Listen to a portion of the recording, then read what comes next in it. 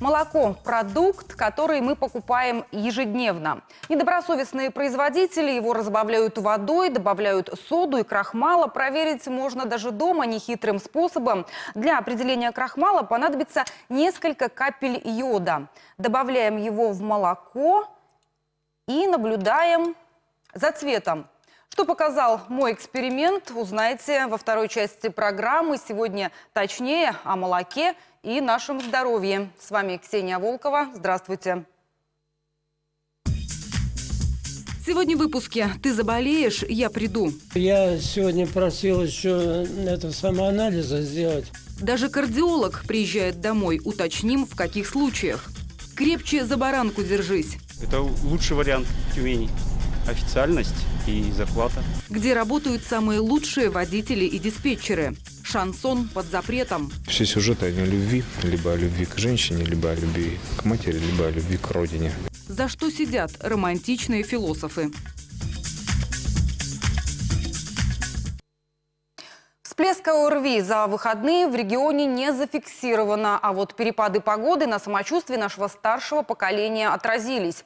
Давление скачет. Последняя статистика от скорой такова. 505 пациентов за двое суток доставили в стационары. Бригады неотложной помощи экстренно спасли 71 жизнь. 14 человек находились в состоянии комы, остальные близки к инфаркту или инсульту.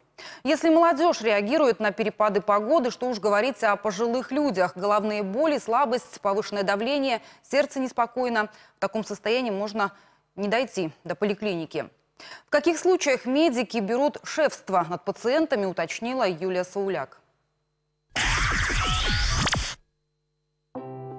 Когда погода шалит, медикам городских поликлиник навещать особых пациентов приходится чаще. Шестая поликлиника, Иван Семенович, к вам, к Наталье Мартемьяновне. К Варлашкиным гости в белых халатах приходят четвертый раз в месяц. Дедушке за 90 и ходить в поликлинику, особенно сейчас, тяжело. Скользко, да, да, это можно прямо около подъезда э, грохнуться и тоже по- поломать все на свете. Медики посещают, как только даем заявку, так обязательно приходят. Вот сегодня я давал заявку на это самое рецепты выписывать. Ну вот я сегодня просил еще это самоанализа сделать. Ивану Семеновичу предстоит консультация кардиохирурга. Чтобы он лишний раз не ходил в больницу, анализ крови берут дома. Раз в год на такую услугу могут рассчитывать все маломобильные пациенты. Клинический ми- минимум входит это общий анализ крови, это холестерин, сахар крови, РВ. И если пациент не может дойти до поликлиники, то мы еще берем общий анализ мокроты на дому. Жене Ивана Семеновича тоже потребовался прием на дому. Она сломала шейку бедра. Бабушка выздоравливает, но пока в основном лежит. Терапевт рекомендует массаж и гимнастику. На одно из посещений запланировали ЭКГ. При необходимости на осмотр маломобильных больных специалисты выезжают бригадой. То есть и хирурги, неврологи, кардиологи, отоларингологи, все специалисты.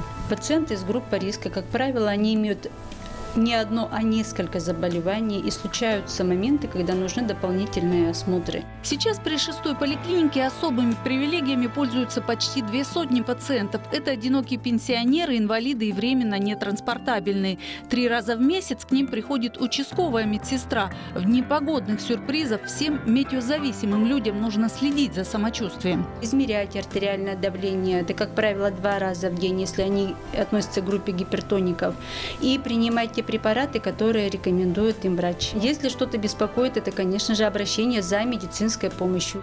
За прошедший месяц врачи медико-социального отделения выезжали к своим пациентам почти 200 раз. За последнюю неделю более 60 обращений. Пожилые пациенты, приходя на прием в поликлинику, любят поговорить, рассказать врачу не только про здоровье, а прием по нормативу максимум 15 минут, а если еще и терапевт молодой, не стрессоустойчивый. Как удержать медиков после университета на участке и какие заболевания может лечить не узкий специалист, а терапевт? Об этом мы спросили гостя из Москвы, академика Анатолия Мартынова. Анатолий Иванович, рада вас приветствовать в Тюмени. Ксения, спасибо, я очень рад встрече. Я начну с жалоб, но не на свое здоровье, а на терапевтов, потому что есть люди, которым все время не хватает времени. Как вы считаете, вот 15-минутный прием, этого времени достаточно, чтобы выявить, понять, направить? Это время небольшое, но если э, пациент встречается с профессионалом, который знает уже по виду пациента, по его выражению лица, по тому, как он вошел в кабинет, полный он или худой, уже у врача должен сложиться предварительный диагноз. И если врач опытный, то ему 15 минут хватит. Если врач неопытный, ему и 30 минут не хватит.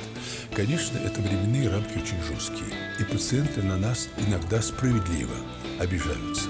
Вы сказали опытные.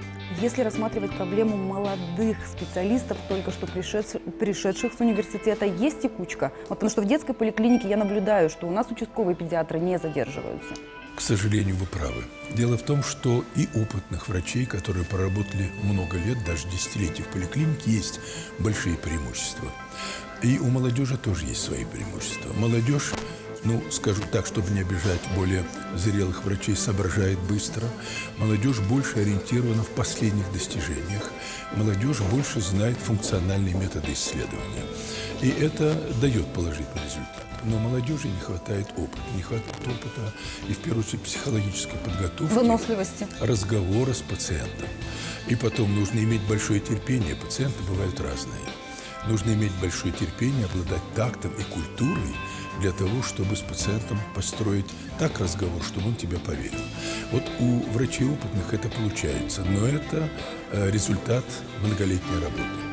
У молодежи это получается редко. И вот когда она чувствует, что не находит общего языка с пациентом, она начинает метаться. И молодые врачи в этом отношении, которые начинают метаться, они в итоге проигрывают. Некоторые ищут более денежную работу, некоторые ищут более спокойную работу, некоторые ищут более психологически стабильную работу. А работа врача, мы только говорим чаще всего о квалификации. Врач должен быть еще и психологом. А это большая нервная нагрузка. А Минздрав придумал, как вот этих молодых врачей, которые недавно пришли работать, удержать в поликлинике? Есть какие-то наработки в этом Я плане? скажу крамольную вещь. Когда мне задают такой вопрос, я человек прямой, я говорю, удержать можно. Зарплату надо повышать. Последние годы я без стремления сделать комплимент в адрес правительства, правительство существенно увеличило материальное обеспечение здравоохранения. Правда, это не очень отразилось на зарплате. Хотя зарплата вот в эти годы, она заметно больше, чем в предыдущие. Я здесь такую фразу услышала. Участковый терапевт – агент национальной безопасности. Это серьезно? Это действительно такая ответственность возлагается на терапевта? Сейчас да. Автор этой фразы профессор Веркин Аркадий. Но это действительно так. Это тоже, может быть, звучит немного лозунгообразно, но дело в том, что с терапевта начинается все. С терапевта начинается любое заболевание. И терапевт работает э, на профилактике. Пациенты очень часто говорят, что тяжело попасть к узкому специалисту, опять обрушиваются на своего терапевта. Почему, почему меня не отправляют? Вот терапевт в этой ситуации не чувствует себя бессильным. Он-то не может выписать одним махом это направление на высокотехнологичные исследования. Одним махом нет, но направление по определенным показаниям к специалисту он делает. Но все-таки львиную долю выполняет терапевт. Выполняет терапевт. Вот я вам приведу такой конкретный пример сахарный диабет. Все почему-то считают, что сахарный диабет лечат эндокринологи. Нет. Эндокринологи только консультируют тех больных, с которыми, образно выражаясь, не справляется терапевт по тяжести течения заболевания. А лечит э, сахарный диабет терапевт. И так касается очень многих заболеваний. Спасибо большое вам за встречу. Обязательно приезжайте еще в Тюмень. Будем рады. Спасибо.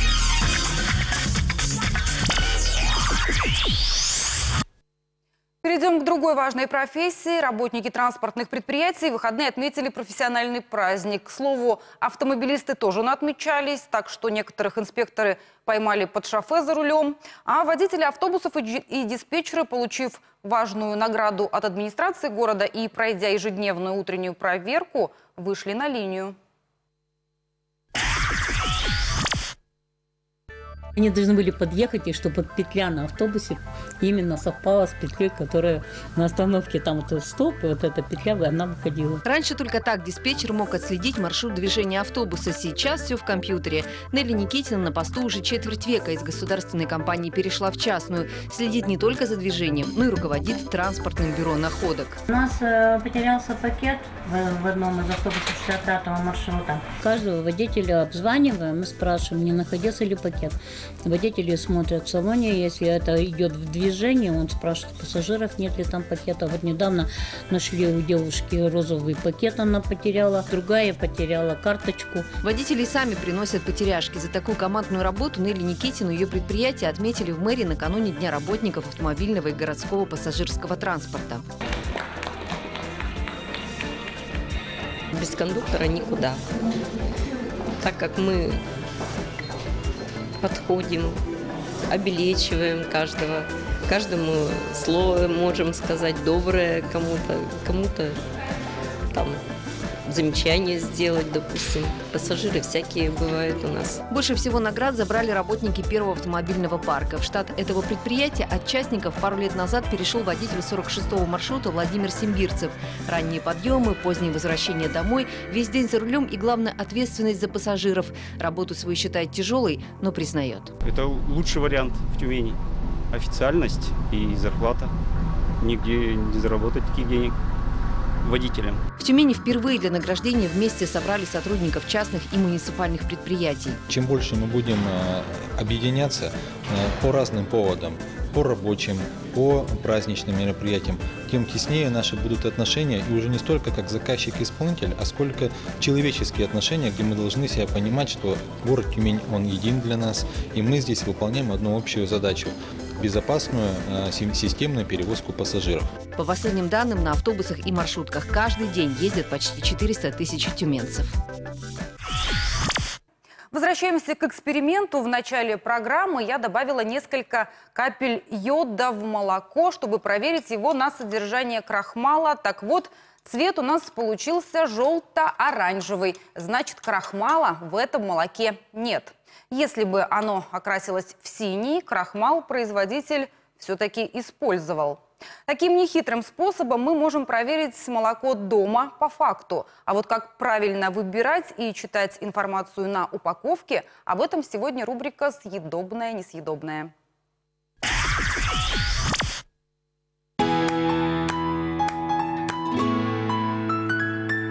Производители сегодня предлагают огромное разнообразие молока, но чтобы выбрать по-настоящему вкусное и полезное, нужно внимательно изучить этикетку. Об этом чуть позже. Сейчас узнаем у тюменцев, как они выбирают полезный продукт. Выберу тюменское наш, вот и все, и вся характеристика. Ну и жирность два с половиной. Что было не порошковое, а именно коровье цельное молоко. Смотрим этикетку. В составе должно быть только цельное молоко, ниже сведения о количестве полезных веществ и калорий. Ярких надписей без ГМО, натуральный, диетический остерегайтесь. Это маркетинг, а не характеристика состава. Если на импортной упаковке нет перевода на русский язык и координат поставщика, возможно, продукт попал на рынок нелегально. Были случаи, когда вам приходилось э, некачественное покупать молоко? Ну... Неоднократно. Скисалось, я ругаюсь, а кошки молчат просто отходят и все. Взял, открыл, оно уже прокисшее. То есть или это на совести производителей, или на совести продавца. Скорее всего, последнее. Молоко в пакетах хранится в холодильнике до 10 суток. Срок устанавливает производитель. Если молоко хранится очень мало, это плохо. Это, скорее всего, э, молоко некачественное, как сырье оно имеет большую бактериологическую обсемененность, и, соответственно, как бы бактерий очень много, и они э, бродят раньше, чем размножаются. Фермерское молоко тоже может оказаться некачественным. Полезный продукт превращается в бесполезный, когда сырье разбавляют водой. На рынке такой трюк не пройдет. В лаборатории датчик сразу определит нечистых на руку производителей. Сегодня проверяют молоко и из Свердловской области. Исследуем молоко на аппарате «Клевер», анализатор молока. Нормы молока, жирность домашнего молока от 3,2, ну и более приветствуется. Плотность от 1,027 до 1,035 у нас показала 1,027. а это норма, в принципе. Белок хороший. Запоминайте еще несколько молочных советов. Обратите внимание на объем упаковки. Мы привыкли, что молоко продается в литровой таре. Однако в последнее время производители хитрят и уменьшают пачку, не изменяя цены. Выбор жирности – личное дело каждого потребителя. Однако стоит знать, что обезжиренное молоко имеет практически тот же набор полезных микроэлементов, как и высокожирное. В нем нет только витамина А и D, поэтому обезжиренное не дают детям, зато оно прекрасно подойдет для тех, кто следит за фигурой. Молоко – отличный абсорбент, поэтому при хранении в скрытую упаковку лучше всего герметично закрыть и убрать подальше от продуктов сильным запахом, иначе через два часа молоко приобретет их аромат. Заглядывайте и на сайт Росконтроль. Там есть черный список молочников. Марки, продукция которых не соответствует нормам, отмечены специальным значком. Вредно ли молоко для людей пожилых, споры не прекращаются. Раньше считалось, что кальций кости укрепляет. Сейчас выясняется, что трансжиры ослабляют прочность скелета. А вот что точно полезно – физическая активность, о танцах на пенсии Инна Михайловская. В коллективе «Надежда» Байкаловского ДК сегодня праздник. Пришли новые костюмы. Надели и словно не репетиция, а концерт.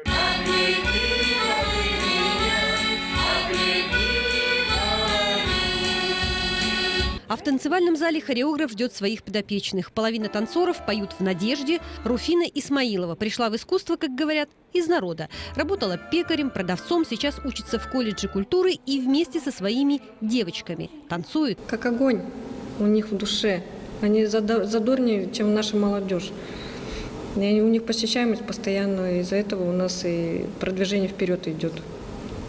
Несмотря на то, что у них и ноги болят, и ручки, и ножки – и все равно они вперед идут. Коллектив так и назвали – «Задоренко». Он начинался с фитнеса в сельском ДК. Двигаться под музыку научились, а почему бы танцами не заняться? Так, четыре года назад шесть отважных женщин впервые зажгли на сцене. Пришла на фитнес, а они танцуют. И сказали мне, оставайся, я осталась. Я даже помню, когда первый раз мы вышли на сцену и включили верхний свет. Мы вот с тетей Любой Саргиной танцуем а мы опешили. Сейчас в Задоринке 10 танцовщиц. Каждый год разучивают по 6 новых композиций. Есть эстрадные, но в основном народные.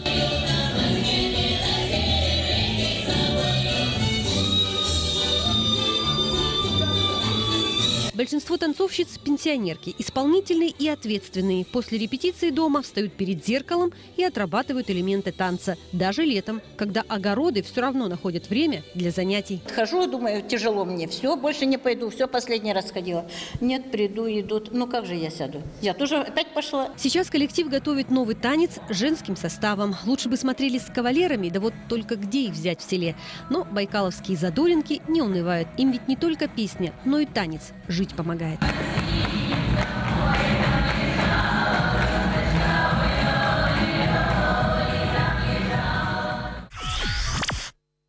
Школьники станут депутатами. Примерить роль народного избранника детям уже не в первый раз позволяет конкурс «Я будущий депутат Тюменской городской думы». Для меня это опыт. Для меня это то, чем я, возможно, потом в будущем буду э, заниматься. И поэтому я уже э, прочувствую эту структуру, э, думаю, в общем-то, что же мне, на что мне нужно обращать внимание вот уже сейчас, чтобы в будущем уже, в общем-то, ну, получить то, что я, к чему я стремлюсь. Ну и, конечно же, это замечательное времяпровождение. Наставниками и судьями для начинающих депутатов стали городские парламентарии. Молодежь всегда считали, старшее поколение, молодежь хуже, молодежь э, омемна, молодежь не, не патриотичная. Все это не так. В каждое время, в каждую эпоху молодежь своеобразна, со своими э, пониманием, своим ответом, своим патриотизмом, в конце концов. Поэтому молодежь очень хорошая.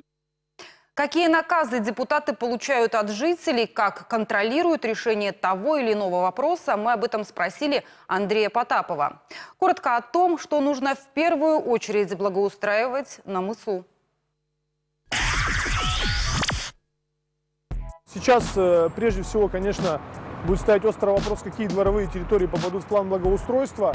Вот, э, очень э, остро сейчас стоит вопрос о ремонте школы номер 13. А он находится, школа находится в стадии реконструкции. И вот как раз на предыдущем комитете я также этот вопрос поднимал, и директор департамента образования Воронцов заверил, что к 1 сентября 2018 года школа будет полностью сдана, что тоже очень вопрос такой острый, там были э, проблемы, связанные с э, конструктивом школы, но эти проблемы решаются. Если все нормально пойдет, то в 2018 году у нас будет новая школа номер 13, это в Тарманах. Активно э, мы ставим вопрос о все-таки ну, неком благоустройстве парка Гагарина. Мы сегодня видим, что парки сегодня это особый, особое внимание этому уделяется. Гелевская роща, которая, кстати, находится на моем округе как раз, она благоустроена. Э, сегодня парк Затюменский тоже находится в стадии реконструкции, и я надеюсь, что следующим на очереди станет да, парк Гагарина, когда огромное количество людей уже э, проводят время в этом парке, но это особое место, это памятник природы регионального значения, и э, это ну, необычный парк. И там достаточно большое внимание нужно будет уделить соблюдением всех экологических норм.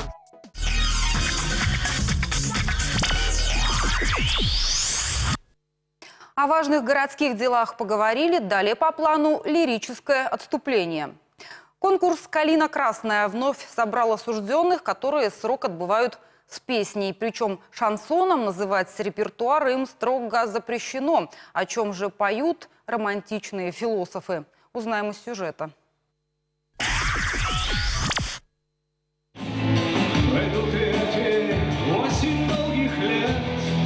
Приглушенный свет софитов. В клубе поклонники, родители и вооруженный конвой. Для Станислава Приленского актовый зал строгого режима родной. С песней и дальше по жизни будет отбывать 12-летний срок за создание нарколаборатории. Нас учили, что все сюжеты они о любви. Либо о любви к женщине, либо о любви к матери, либо о любви к родине. Я пишу не часто, чаще по случаю. Я всю жизнь пою, допустим, вы всю жизнь дышите.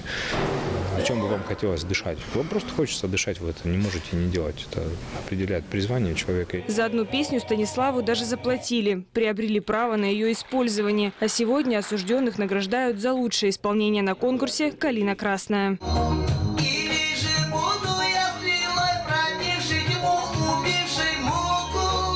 Искусство строгого режима спасает и Салима Хасанова. О своем преступлении говорит открыто. Жил с несовершеннолетней, но в его стране это законно. До окончания консерватории оставался год. Оказавшись здесь, в этих стенах, я